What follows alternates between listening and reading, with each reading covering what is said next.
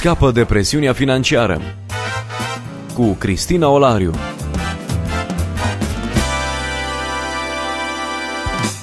Bine v-am regăsit și astăzi la o nouă întâlnire. Împreună cu noi este pastorul Titus Păștean, reprezentant național Crown Financial Ministries în România. Bun revenit! Bine v-am regăsit!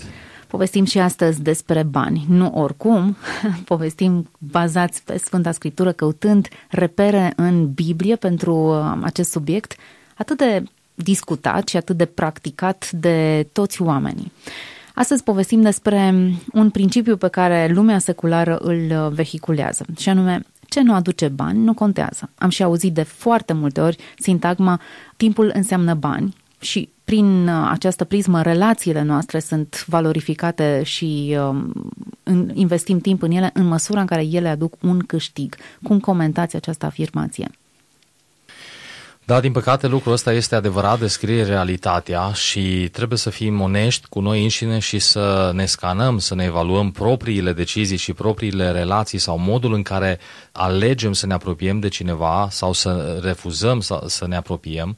De multe ori tindem să pornim de la această realitate chiar nefiind conștienți de ea.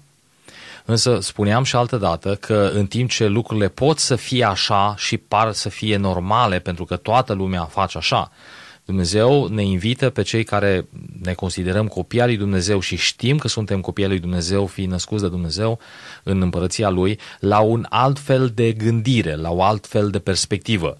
Și discutam și altă dată, dacă în timp ce pentru omul obișnuit, pentru omul normal, natural, profitul uh, și câștigul este, este motorul principal al existenței, să am, să adun, să fiu deasupra, pentru credincios, pentru copilul lui Dumnezeu, pentru cel ce este partea împărăției lui Dumnezeu, credincioșia este mai degrabă cuvântul sau etalonul de măsurat.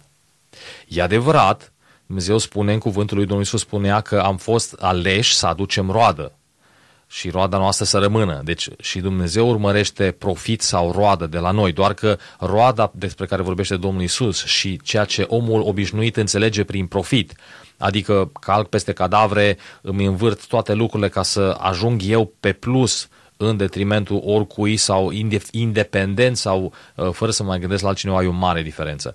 Deci dacă este să, uh, să, să punem, să găsim două concepte care să descrie o realitate și alta, uh, da, pentru omul natural profitul este definitoriu, este punct de pornire, pentru omul care se teme de Dumnezeu și cunoaște pe Dumnezeu, profitul poate să fie o consecință sau poate să fie unul dintre obiectivele secundare, dar ceea ce este determinant sau punct de pornire este credincioșia față de Dumnezeul care este atotputernic, este purtător de grijă și este călăuzitor. De multe ori a avea bani este un element de referință pentru mulți. Se identifică sau își declară identitatea în funcție de posesiunile lor sunt ceea ce spune mașina mea că sunt, ceea ce spune casa mea, businessul meu și așa mai departe, toate acestea conferă un statut. Așa este, așa este și din păcate cădem în, în această generalizare chiar dacă suntem credincioși.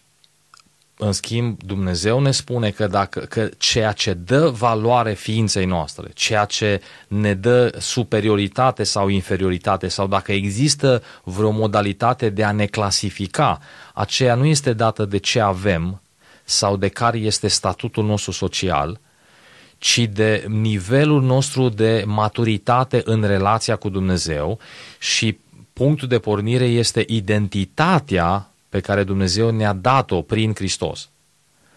Dar, așa este, ne luptăm, suntem în această zbatere între a ne bucura de ceea ce Dumnezeu spune că suntem și de ceea ce Dumnezeu spune că face cu noi, versus a ne uh, uh redescoperi sau a ne descoperi prin prisma performanțelor noastre sau a acumulărilor uh, de, de lucruri, de bunuri am sentimentul că scormonim undeva la rădăcina lucrurilor. De fapt, aici e nodul problemei. Aici găsim uh, și uh, punctul central. De ce oamenii aleargă atât de mult sau își doresc așa de mult un profit? De ce sunt atât de avari și nu sunt în stare să împartă cu ceilalți? Nu știu dacă neapărat acest răspuns este lămuritor. Faptul că de multe ori banii sau posesiunile noastre ne definesc identitatea sau ne lăsăm definiți prin ceea ce avem, mult mai degrabă decât prin ceea ce spune Dumnezeu că suntem. Și pentru că facem această confuzie gravă, nu administrăm cum trebuie posesiunile noastre sau nu administrăm corect timpul nostru, pentru că timpul, așa cum era la începutul uh, discuției noastre, de multe ori în societatea noastră consumeristă, timpul înseamnă bani. Este legat intrinsec de bani. Exact. Așa este. Faptul că, și aveți dreptate, faptul că nu ne împroprietărim cu ceea ce Dumnezeu face limpede vis-a-vis de cine suntem noi în Hristos. Și acum mă refer la persoane, la oamenii care au înțeles mesajul Evangheliei și au îmbrățișat soluția lui Dumnezeu pentru natura umană, pentru, pentru omenire, care este persoana și lucrarea lui Isus Hristos. Despre această categorie Dumnezeu are afirmații care descriu identitatea foarte clar și oarecum simplu dar pentru că este atât de, atât de măreață, este aproape incredibilă, preferăm sau ne ferim cumva de ea și rămânem într-o gândire care nu reprezintă intenția lui Dumnezeu pentru noi. Dacă noi am înțelege și am ști cine suntem în Hristos și care este moștenirea noastră în Hristos și care sunt beneficiile contării pe, pe cine suntem și pe ce face Hristos în noi, atunci tentația materialului ar fi mult mai mică. Nu că nu ar fi, din mai multe puncte de vedere. Unu, din cauza că atâta vreme cât suntem pe acest pământ, vom avea de-a face cu încercarea diavolului de a ne înșela. Dacă Hristos l-a biruit și ne-a dat un nou statut, o nouă identitate, născându-ne din nou, la fel este de adevărat că El are încă posibilitatea să ne înșele și dacă reușește să ne îndepărteze de adevărul a cine suntem în Hristos și să ne tragă înapoi în a încerca să uh, ne definim identitatea funcție de ceea ce acumulăm sau de pozițiile pe care ajungem, uh, i-am făcut viața ușoară și nouă grea. Dar așa este, soluția pentru a nu, a, a nu, ă, a nu mușca din plin de, de, din această gândire ă, pe care am numit-o și o numesc și alții ă, economia lumii sau a gândi material din punct de vedere a omului natural fără Dumnezeu, este să cunoaștem cine este Dumnezeu, cine suntem noi în Hristos și care sunt capcanele obișnuite prin care diavolul ne, ne, ne seduce. Seducția bogăților există. Nu o putem ignora. Cum am putea este. explica comportamentul consumatorului care intră într-un supermarket după o pâine și iese cu coșul plin, după ce a atins, a palpat, a fost înconjurat de toată seducția acelei posesiuni pentru o clipă.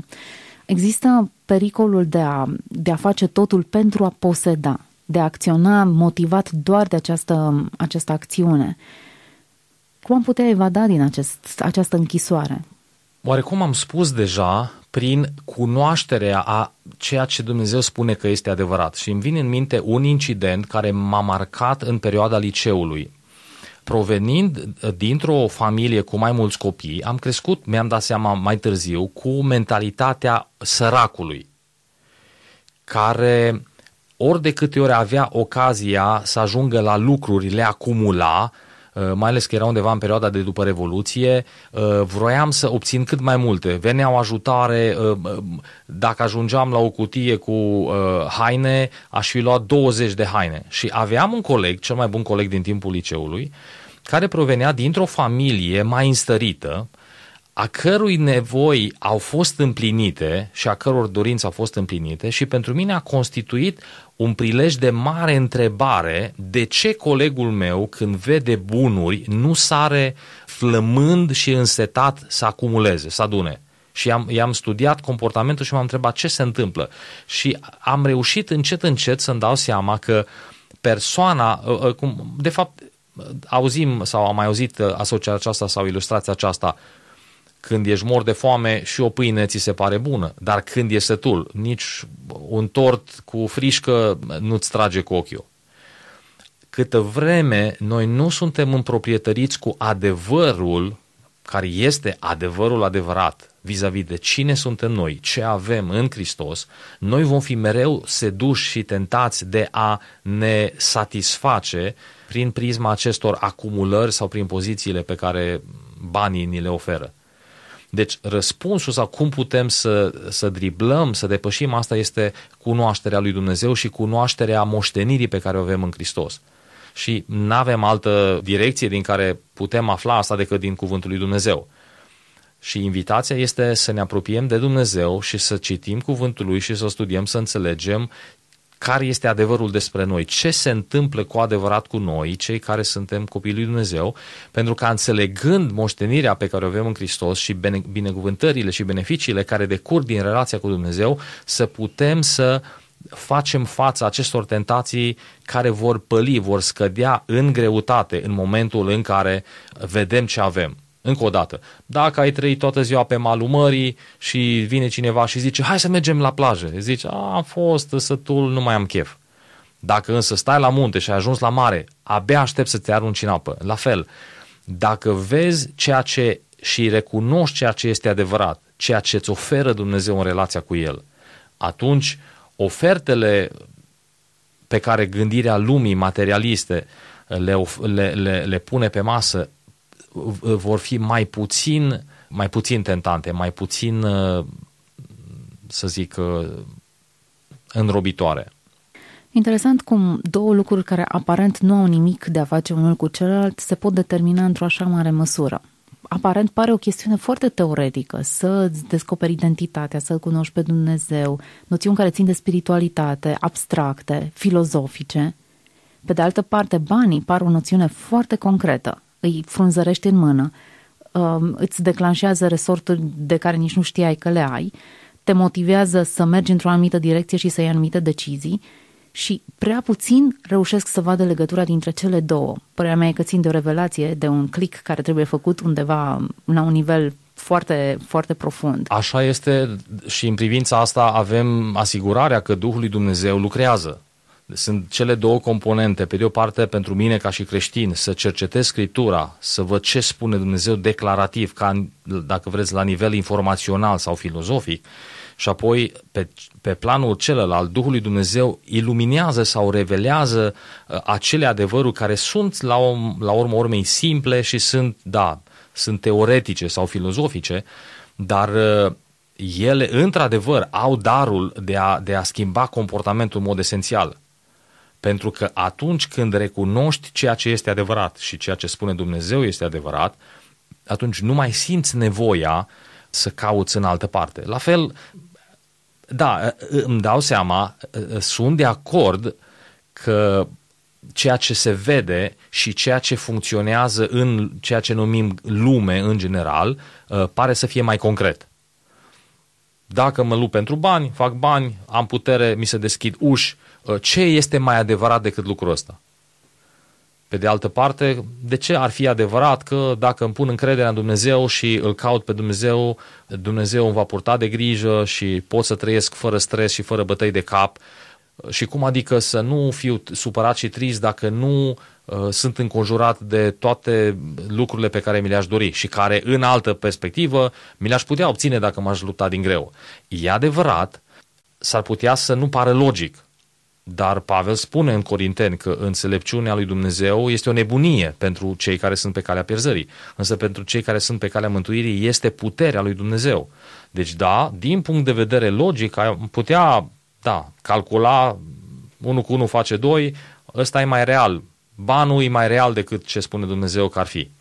Dar, pentru cine are deja experiența cunoașterii lui Dumnezeu într-o oarecare măsură, într-un anumit aspect al vieții, poate să extrapoleze și să-și asume adevărurile care, adevărul este, funcționează. Când ne punem încrederea în Dumnezeu, Dumnezeu răspunde și avem mărturii personale și personal pot să spun că în măsura în care reușesc să văd ce face Dumnezeu și ce spune Dumnezeu, aduce inclusiv uh, binecuvântare sau resurse necesare în, pe diverse căi, dar împreună cu pacea pe care o dă o, o conștiință curată și nu resurse încărcate cu vinovăție și cu conștiința faptului că am forțat nota doar ca să ca să obțin ceva.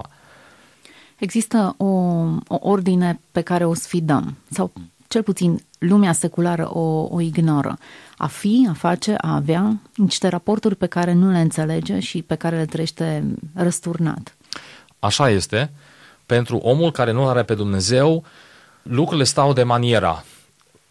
Fac tot ce pot ca să acumulez, iar ce sunt ca esență este mai puțin important. Pentru creștin însă lucrurile merg invers. Esențial este cine sunt și cum asta determină ceea ce fac, iar rezultatele în sensul de posesiuni cumva sunt derivat, sunt o consecință, nu un scop în sine. Și sună a teorie, dar ea, lucrul ăsta îl putem, dacă îi să ne scanăm după, după cele două perspective, putem ușor să vedem unde ne aflăm. Deci ce este mai important pentru mine? Să fiu să fiu credincios față de Dumnezeu, să, să recunosc ce m-a făcut Dumnezeu și care sunt implicațiile acestui statut sau acestei identități a mele, având încredere că Dumnezeu îmi poartă de grijă, sau scopul meu este să descoper lucrurile care mă ajută să posed, iar ideea de a fi este undeva în plan secund. Ne aflăm la finalul acestei discuții și uh, mi se pare că am punctat câteva lucruri importante. Lucrurile pleacă din interior spre exterior. A fi e mult mai important, e definitoriu pentru ceea ce faci și pentru ceea ce posezi. Nu acestea îți definesc statutul, ele pot să te deterioreze, însă ceea ce îți dă valoare și identitate este Hristos, cel care a murit și a făcut atât de multe lucruri pentru noi. Uh, bună discuție, interesant cum pornind de la lucruri atât de concrete, ajungem la lucruri cu atât de multă substanță și care țin așa de mult de, de spiritual. Mulțumim pentru prezența în emisiune. Cu plăcere și mă rog lui Dumnezeu să ne ajute să vedem relevanța și legătura dintre credință și dintre adevărurile pe care Dumnezeu le lansează și care le putem îmbrățișa prin credință și trăirea de zi cu zi și modul în care ne raportăm la bunuri. Când vom pleca de la credință și de la adevărul lui Dumnezeu, atunci comportamentul nostru material, financiar se va schimba și starea noastră de spirit va fi diferită. Împreună cu noi astăzi a fost pastorul Titus Păștean de la Biserica Baptistă Vox Domini, reprezentant național Crown Financial Ministries. Rămâneți cu bine, ne auzim data viitoare. Scapă de presiunea financiară cu Cristina Olariu.